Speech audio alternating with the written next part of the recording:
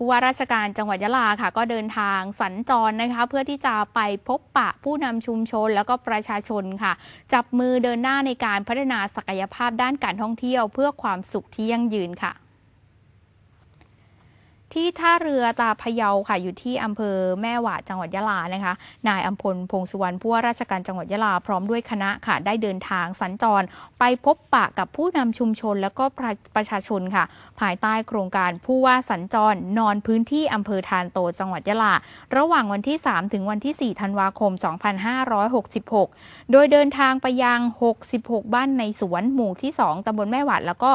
เกาะทวดนะคะ หมู่ที่ 10 บ้านในหลงค่ะ อยู่ที่ตำบลแม่หวันเหมือนกัน เพื่อที่จะรับฟังการนำเสนอแนวทางในการพัฒนาศักยภาพด้านการท่องเที่ยวของผู้นำชุมชน ผู้นำท้องที่ท้องถิ่นนะคะ ที่ร่วมกันในการขับเคลื่อนการท่องเที่ยวให้เป็นที่น่าสนใจ แล้วก็ดึงดูดคนให้เข้ามาเที่ยวที่ฐานโต เกิดการสร้างแรงงานแล้วก็สร้างรายได้ในพื้นที่ นอกจากนี้ค่ะก็เพื่อที่จะให้เห็นถึงสภาพปัญหาความต้องการของประชาชนตามความเป็นจริงค่ะ ซึ่งก็ถือว่าเป็นเรื่องที่สำคัญที่สุดนะคะ โดยให้ประชาชนผู้นำท้องถิ่นท้องที่ค่ะ ได้มีการสะท้อนปัญหาและข้อมูลที่แท้จริง ว่าประสบปัญหาความเดือดร้อนอะไร ต้องการการช่วยเหลืออย่างไร โดยให้มีหน่วยงานที่รับผิดชอบค่ะ เข้าไปรับเรื่องดำเนินการเพื่อที่จะให้เกิดผลสำเร็จก็คือคุณภาพของคุณภาพชีวิตของประชาชนค่ะ แล้วก็เป็นการสำรวจพื้นที่ เพื่อที่จะดูศักยภาพที่เป็นการพัฒนาต่อยอด โดยเฉพาะเรื่องของการท่องเที่ยวที่ประชาชนต้องการ แล้วก็มีส่วนร่วมในการพัฒนาไปด้วยกัน และยังเป็นการสร้างภาพลักษณ์ที่ดีให้กับจังหวัด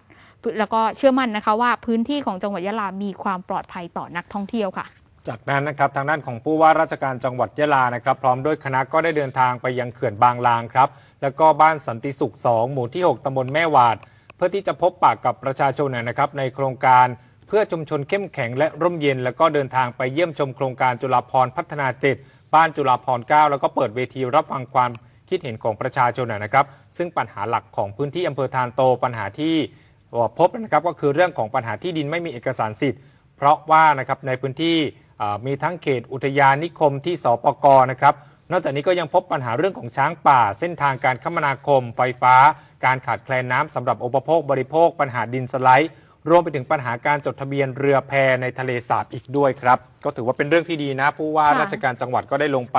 รับฟังปัญหาให้กับพี่น้องประชาชนถึงที่ก็เป็นการที่จะเขาเรียกว่าทำให้พี่น้องประชาชนในพื้นที่นั้นมีคุณภาพชีวิตที่ดีขึ้นนั่นเองครับ